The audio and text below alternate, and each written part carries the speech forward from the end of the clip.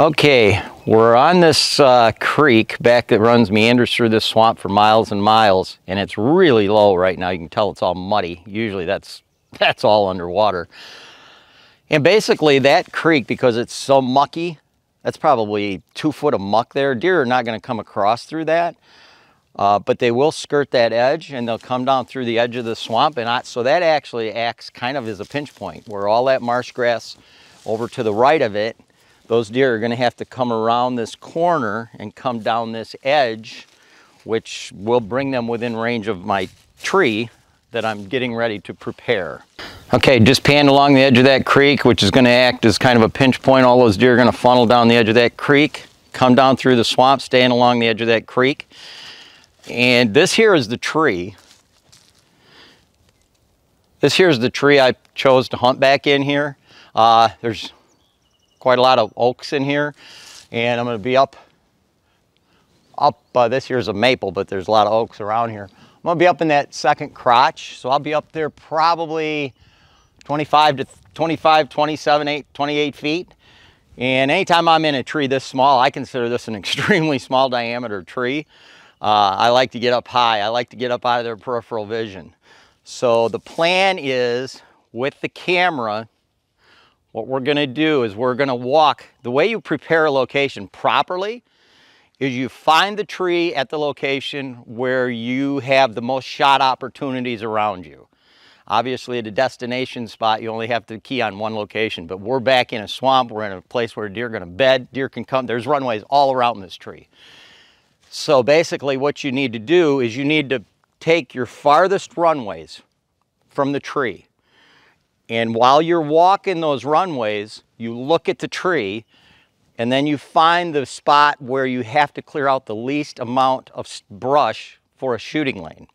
And when you clear out that to that farthest shooting lane, that farthest runway, that's gonna bring any other runway that's between that one and the tree within, you won't have to, you know, you clear out a separate lane for that.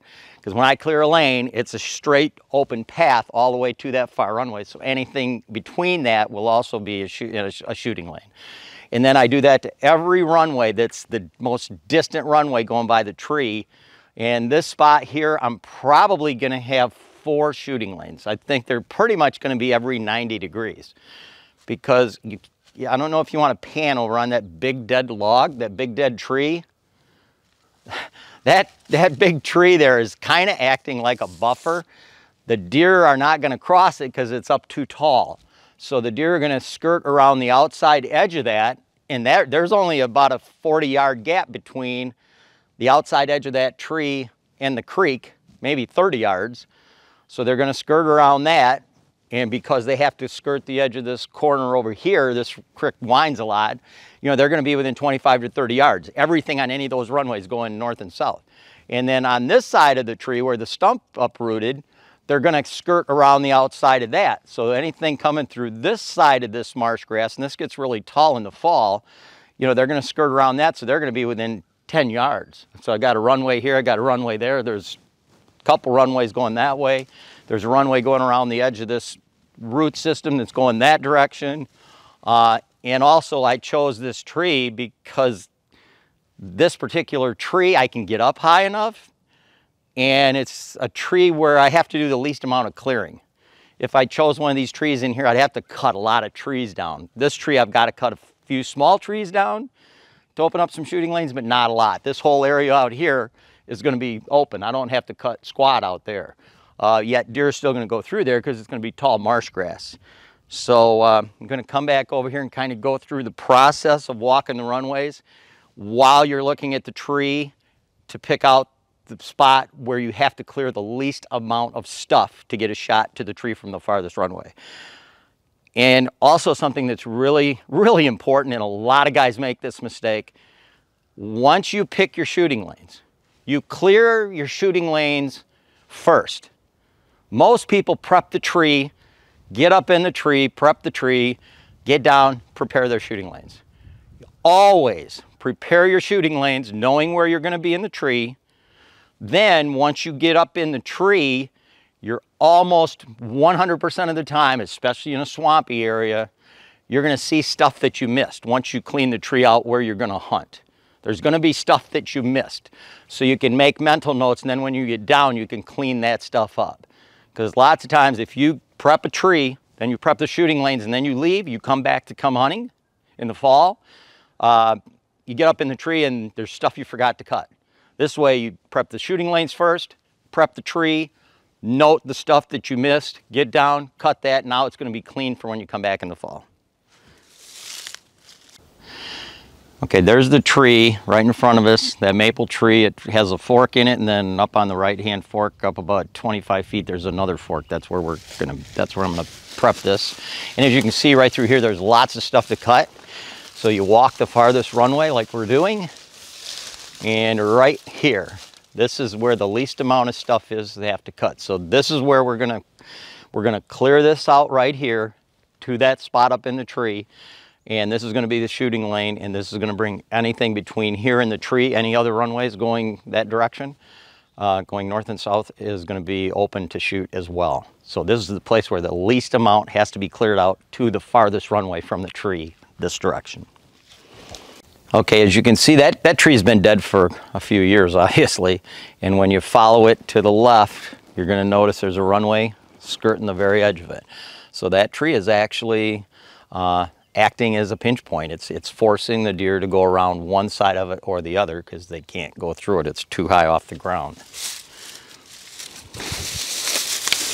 Here we are at that tree and walking down the other side of the tree to show you the other runway. Found here, deer's bedding in here. I don't see any other beds, so it's a good chance this is a buck.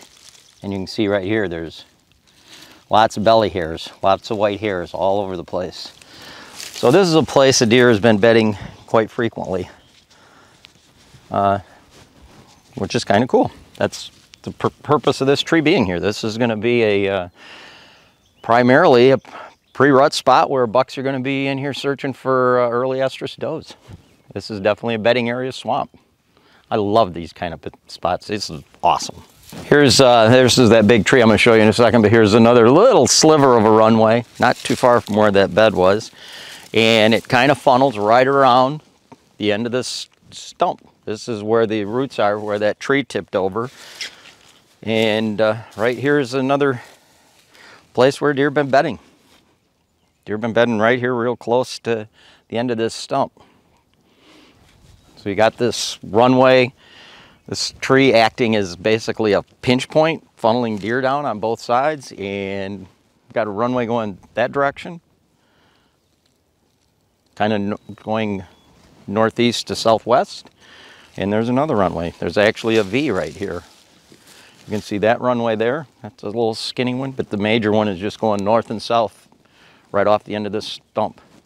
Okay, here's a spot where comes down the edge of this swamp and it kind of fans out here. So you got a runway right here, got a runway right here. This is the most north-south runway, so this is the one we're gonna walk. So we're gonna walk down here while we're looking at the tree. The tree's right there, that Veed maple. And obviously, right here, this is it. The least amount of stuff has to be cut right here, almost nothing. And that's what I said, when you get, this is because this is more on the marsh side, there's not as much timber as there is on the other side. Um, there's hardly anything to be cut here. A few branches here, that little brush right there and a couple branches off the side of here and this is wide open.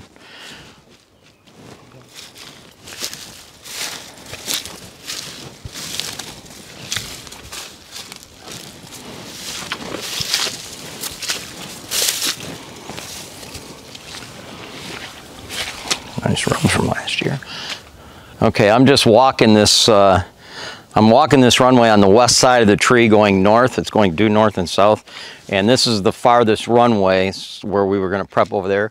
So I'm looking for runways going east and west. And it looks like this one right here is going to be the farthest runway within my shooting capability.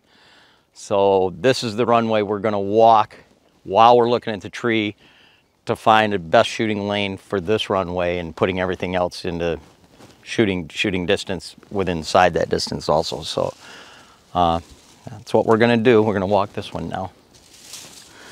Okay, right here's uh, this is that east east west runway.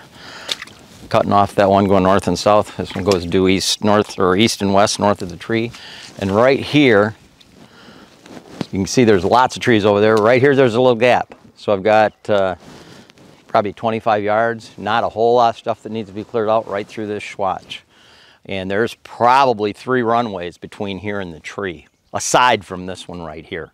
So that'll, just clearing that out will have all of them easily open for shooting. So I'm not gonna need four, I'm only gonna need three. And they're almost, they're almost all exactly 120 degrees from each other. Got one that way, that way, and that way. Gonna have a shooting lane pretty much northwest, uh, due east, and uh, to the south, due south. Okay, get out the trusty old Silky. Anytime you're clearing out a runway or shooting lane, make sure to throw the stuff where it's not going to interfere. Hate cutting this big tree and I might not. I may look at that.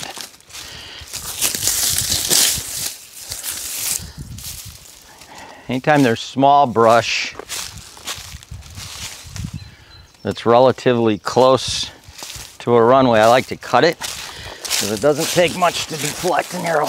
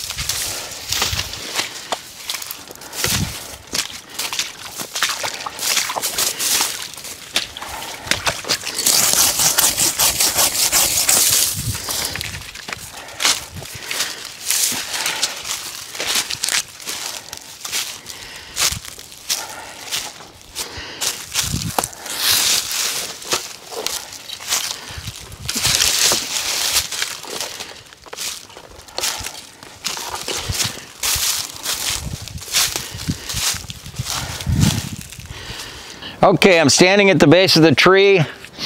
We've cleared all the runways, Joe and I, and uh, not runways, shooting lanes. Let me start over. Start. Okay, I'm standing at the base of that tree out in the swamp, and uh, Joe and I, my son Joe helped me, and he's actually on the camera right now. And actually, that's the first shooting lane that we did. So uh, you saw it before. And now if you pan out on it, I think you can see how clear it is up to that second crotch. Haven't cleaned the tree yet. Haven't prepped the tree. Prep the shooting lanes first. Then we're gonna, now we're gonna prep the tree, but that's the first lane. We ended up doing four lanes. Two of them needed almost nothing. That one needed a little bit of clearing. You can see these cut off trees. So that's lane one. This here's lane two, and I want to say one thing real quick.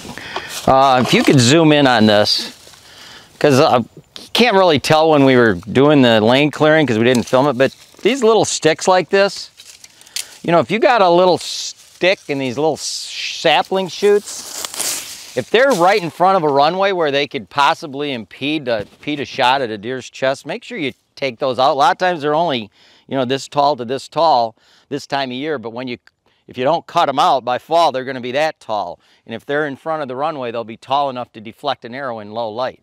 Okay, that's lane three, and that one needed almost nothing. Uh, we had to do almost zero clearing there. A couple stuff up here tall, up high on that maple, and a little bit on that oak, and that was it. Okay, this here is uh, shooting lane number four. We were gonna do three, I thought. We ended up doing four. Uh, one's really minor. Also, even though we're doing, I'm doing a segment on saws, I, I just got to reiterate, this here's a three section, 16 foot silky. This is the baddest ass saw there is. If somebody wants to make a good investment, you're looking at 250 bucks probably. Get a silky saw. I mean, you can take branches out that are two inches in diameter with three simple swipes. It's damn near as fast as a chainsaw and you don't have to carry the damn chainsaw around. So, has nothing to do with these shooting lanes, but we used them to clear them out. Silky saws are bad. They're the baddest ones out there. Okay, I'm getting ready to prep this tree. We've been uh, clearing the shooting lanes. Now it's time to prep the tree. Just want to show what I'm prepping it with. Uh, I've hunted this guy's property for a few years and he lets me use spikes as long as it's not in a nice tree in the timber. And I always hunt in the swamp, so nobody's gonna come out here cutting wood, so he lets me use these 3 8 inch by 10 inch long spikes and uh, you can buy these by the 50 pound box. I do anyway. At hardware stores, you have to special order them. They usually don't have them. It's about 100 bucks for 50 pounds, and that's a lot of steps. That's probably 300 of these. And as long as you weigh under 165 pounds, these will work phenomenal.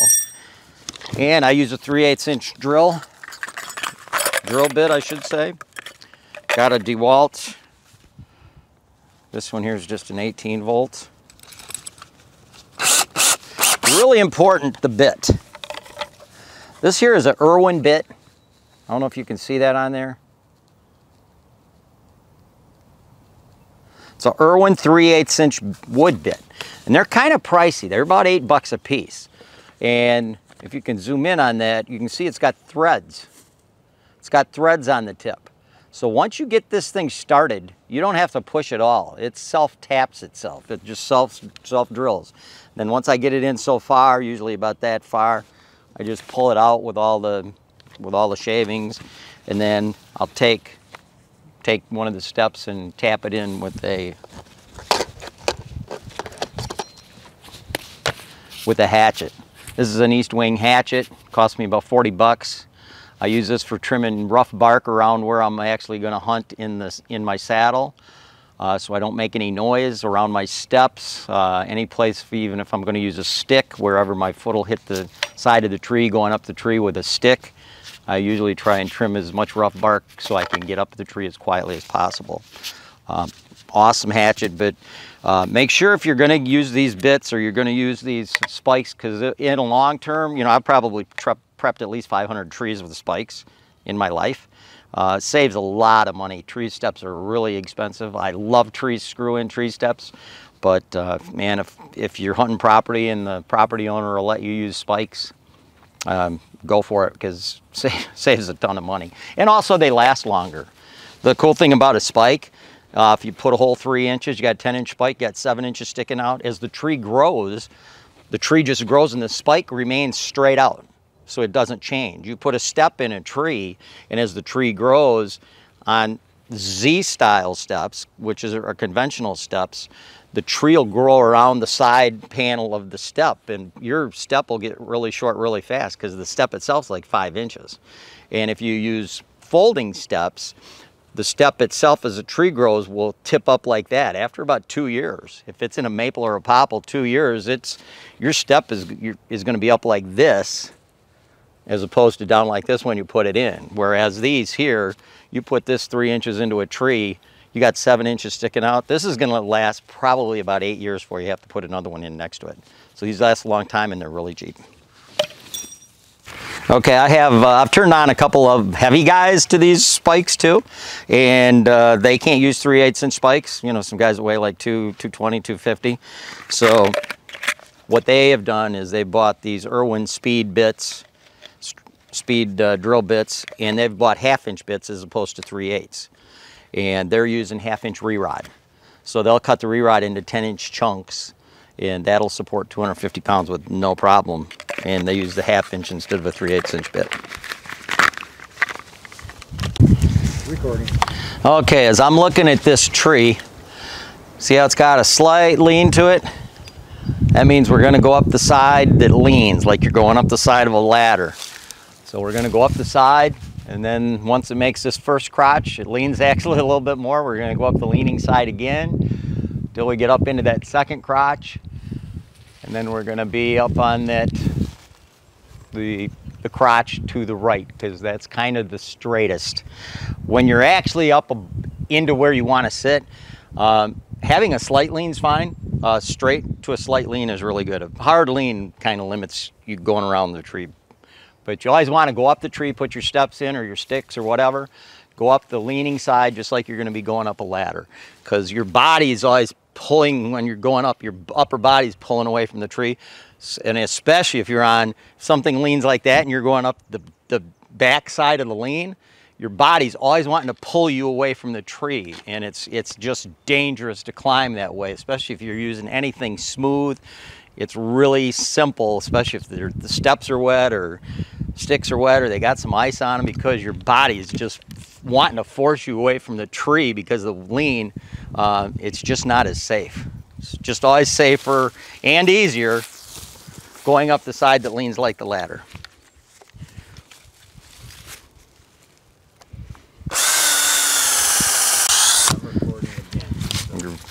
Okay, so right now we're I like to keep my steps about knee high. Uh, I don't know what that height is. Um, so right now we're gonna have a step here. Next step goes in here. Watch how easy this goes in. I am putting no pressure on that whatsoever. It is going in totally 100 by itself, 100% by itself.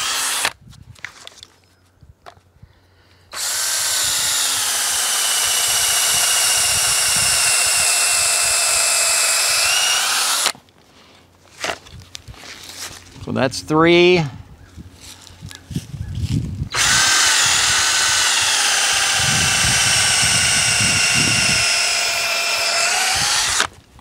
Four. So I got four, you can put four steps in without having to hook to the tree yet.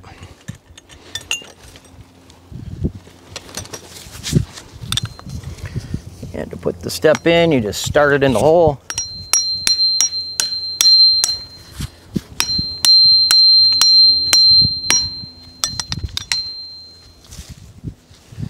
Hardest thing's finding your holes.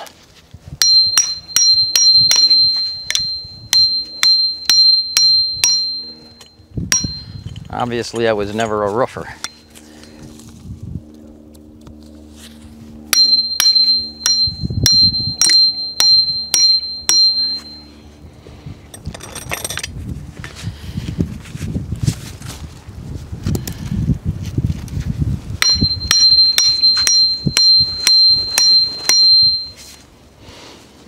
Now once you put these in, they're there forever. So uh, keep that in mind. After you hunt about six to eight years, this tree will grow out into here, and then you have to put another step next to it. But these steps, you're not gonna pull them out. It's not like some of those drills where you can drill a hole, just slide it in by hand and then pull it out when you come back down. These, uh, this bit is a little bit tighter. Okay, here's another whiteboard. Make me a pointer here. This one's a little simpler because uh, this one was pretty much all marsh. This is one that we just prepared. Um, showed you uh, kind of film showing the shooting lanes, making before and after shooting lanes of the tree. And it was a maple tree on a little piece of high ground in the middle of a swamp. So there was some open timber to the west. Um, eh, it's probably 80 yards to the west. Um, everything north and south is marsh. There's a river. Not a really big river, not real wide anyway. Pretty deep. There's a river flowing down. It kind of meanders through the through the edge of this marsh on the, to the east. And there's marsh on the other side of the river, east side of the river as well. And anyway, this is all cattails, all marsh grass. Same up here. And then right here was a piece of high ground. And there was a maple tree, which is what we filmed, prepping and clearing the shooting lanes. And there was a bunch, there was quite a few bur oaks between that maple tree and the river. And the reason I chose the maple tree as opposed to being up one of these bur oaks, because these bur oaks were actually big enough to hunt from. But there was, if I were to get in any of these bur oaks, there was just a lot more stuff that had to be cleared out for shooting lanes. Plus, from that maple, it was about 30 yards to the river. So by staying about 30, that's about my shooting distance. I, by staying in that maple, I had a lot more open area over here to the west and to the north. I had natural shooting lanes. I really didn't have to do much for shooting lanes. So I only had to make shooting lanes this direction and to the south. Whereas if I would have got in the bur oaks and it would have been a 15 yard shot to the river, then I would have only had 30 yards to shoot this direction. So I basically would have had a 45 yard zone I could have shot. By having in by being in this maple, it did a several things. It gave me a 60 yard shooting range east to west as opposed to 45. And it again, I didn't have to clear as much stuff because if I'd have prepped something here, I'd have had to clear shooting lanes going that way, that way, this way, and that way, you know, 90 degrees each direction. So from this, I only had to really clear shooting lanes going south and going east because these north and going west, those were pretty open because it was more marshy. The trees weren't really in that in that area. They were to the east. So anyway, I prepped that location and then directly south of that maple, there was a huge fell tree. It was that tree was probably 60 or 70 feet long and it was that big around and it was up off the ground like that high. It was big enough where, and it fell just perfectly east and west. It was big enough where deer are not gonna go over it and they couldn't go under it. So the deer had to skirt the outside edge one direction or the other. And because of where that maple was, I actually got that off a little bit. That maple is probably right in here. The maple was pretty much centered on, e if you took each side of that fell tree, uh, the maple was due north pretty much in the center, so it was more about right into there. So there was a runway going right up the edge. There was runways coming out of this marsh going straight up the edge, just cutting the edge of that, the end of that tree that way, and the end of the tree this way. So that put them, because that, that was a really big tree, uh, if when they continued going north, after they skirted around those edges, you know, those are like 10 to 15 yard runways from my tree. So I had a 30 yard, 25 to 35 yard shot to the river. And there's almost always any, any place I think I've ever prepped where there was a river, there was a some form of a runway skirting the edge, some place close to the edge of the river where deer followed the edge of that river. Because usually along the river, there's good security cover and they can scent check where deer crossed the river because this was a river that was it's not too hard to cross um, it's a little mucky, but deer could cross it pretty easy. So anyway, there was runways going on each side of that fell tree. There was runways coming down the edge of the river this way, which were within shooting distance. There was three or four runways going just due north and due south, even over here a little farther over. I just showed what three or four runways there. There was probably eight different runways within shooting distance of that maple tree. And again, it was centered in everything around here is security cover. I'm a huge security cover guy. So marsh grass, cattails, water, dry humps. Uh, um, I've scouted quite a few places this spring that, that actually had that. And there was a feeder creek coming just about due east-west that attached to this river through this marsh. Um, unfortunately, there was also a runway along the edge of that creek, but I couldn't shoot it from that. And there were there were no trees around there. But that was just one runway, whereas all these other runways going north and south, pretty much I could shoot to all of them from that maple tree. Uh, I'm up in that maple probably 25 feet to my feet. Um, it's not quite as big a diameter as I would like, uh, but that's all there was, and I'll just have to be very cautious. And, and one thing cool about about that kind of a location, you got a big visual. You can see up and down through that marsh for a long, long ways. So it's not like something's going to boom. It's right on top of you. You can prepare to be quiet. You can prepare to move around the tree and be on the back side in your saddle. Uh, really cool thing about a saddle is you can use a tree as a blocker. So um, I definitely expect to kill something out of that tree. Uh, hopefully it's this year. Uh, last two years in Michigan, I have not even seen a shooter buck. So I obviously haven't killed anything, but uh, I'm due for a change. And I, I sure as hell hope it's this year because I've sucked the last couple years. And I want to change that. That's not cool. So anyway, that's the location we just prepped, and uh, this is the this is basically the whiteboard of the location to go along with the actual video of prepping the lanes and the tree. I hope you're as successful this year as well. That's what this is all about, making everybody better hunters. Take care. Thanks for watching another episode of Eberhart Outdoors, and please like and subscribe.